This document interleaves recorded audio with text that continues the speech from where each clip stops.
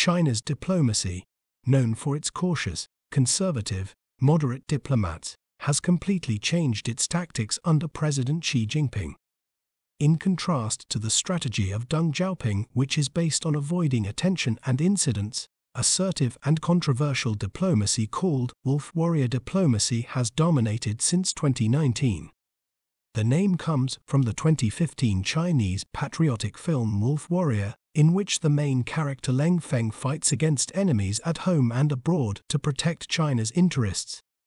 In the even more popular sequel Wolf Warrior 2, Chinese soldiers are sent to Africa to rescue the people of China, which conveys the message anyone who offends China, no matter how remote, must be exterminated. This combination of self confidence in its international reputation and insecurity led to the development of wolf warrior diplomacy with the aim of deflecting criticism of the People's Republic of China. Diplomacy of Deng Xiaoping During the reign of the Southern Dynasty, the term hide your strength, bide your time represented the withdrawal of sages from public life. It described self cultivation in pursuit of achievement. During the Qing dynasty, it was characterized by coolness, thorough planning, and hard work. This term can be applied in prosperous and less prosperous times, because the goal is to work diligently on set goals in the distant future.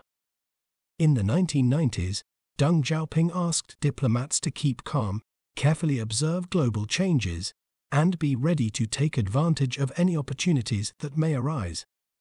He emphasized that China should not take the lead in the world. Hide your strength, bide your time was the philosophy of Chinese diplomacy from 1978 to 2008. While some consider China's territorial claims in the South China Sea to be a departure from this principle, others think that Deng Xiaoping originally planned for China not to show its power until it was strong enough to defend its interests successfully. The answer to the question of whether this is just part of the plan or whether Xi Jinping has decided to change the strategy would help to understand in which direction China plans to move in the future. Some believe that the former diplomatic style of hide your strength, bide your time was necessary under Deng Xiaoping because then China had neither the need nor the strength to behave differently. But now that China has become stronger and the West is trying to slow down its growth, it is time for China to change its diplomatic style Others say that hide your strength, bide your time doesn't mean showing weakness but modesty, and that China doesn't need to show its power to let others know she has it. Diplomacy of Xi Jinping When the Chinese economy had just started to develop, Beijing wanted to convince the world that they were not a threat to the existing liberal order. They claimed that China wanted to have a peaceful rise, which was manifested in the promotion of soft diplomacy and the provision of necessary assistance to other countries. During the 1990s, Chinese nationalists criticized their diplomats for their polite and submissive behavior towards the US and Japan.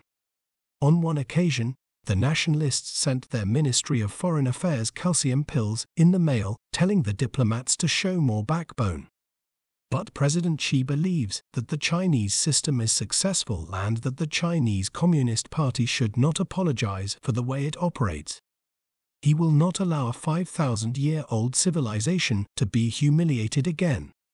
Due to the century of humiliation and bad experiences with the West, China perceives most things as a threat. Chinese diplomacy became assertive after the global financial crisis in 2008. This trend accelerated after Xi became the leader of the Chinese Communist Party in 2012. Xi began handing out memos to the Ministry of Foreign Affairs on how diplomats should begin to show a fighting spirit. Obedient diplomats accepted this challenge to show loyalty to the party's ideology and leadership. However, in the summer of 2021, Xi stated that China must work hotter to improve international communication build a reliable and respectable image of itself, create friendships, unite, and win over most countries to its side. This shows that China uses two different diplomatic strategies an aggressive one, to satisfy the domestic audience, and an egalitarian one, with which it wants to present itself as a credible partner for cooperation. With Joe Biden coming to power, China had the opportunity to change its tactics and try to repair relations with the US since aggressive diplomacy did not help to achieve its strategic interests. However, China will not suddenly change its strategy because its goal is to save face and not surrender. So the decision making changes will be gradual. Diplomatic wars will become the new normal in their relationship as China will no longer suffer blows from the US, nor be afraid to confront the rival superpower. China's attitude towards the relationship with the US has changed in the last few years. The idea that China should adhere to the principle of hide your strength, bide your time in its relationship with the US, has been replaced by the view that China should adopt a tit for tat approach. Although, it is unlikely that the relationship between China and the US will turn into a new Cold War because of their economic interdependence.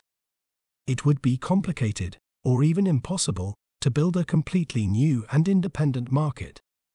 The upheaval in Chinese diplomacy that took place during the reign of Xi Jinping is both a cause and a consequence of his actions. While the West was facing the global financial crisis, China's GDP continued to grow by 10% every year. This instilled a sense of pride in the Chinese citizens and deepened the faith in the Communist Party's rule. President Xi has only accelerated the process of change in Chinese diplomacy from Deng Xiaoping's principle of hide your strength, bide your time, to a confident and decisive style that advocates and defends the interests of the People's Republic of China. This style is also characterized by frequent spats on Twitter with those who criticize their homeland.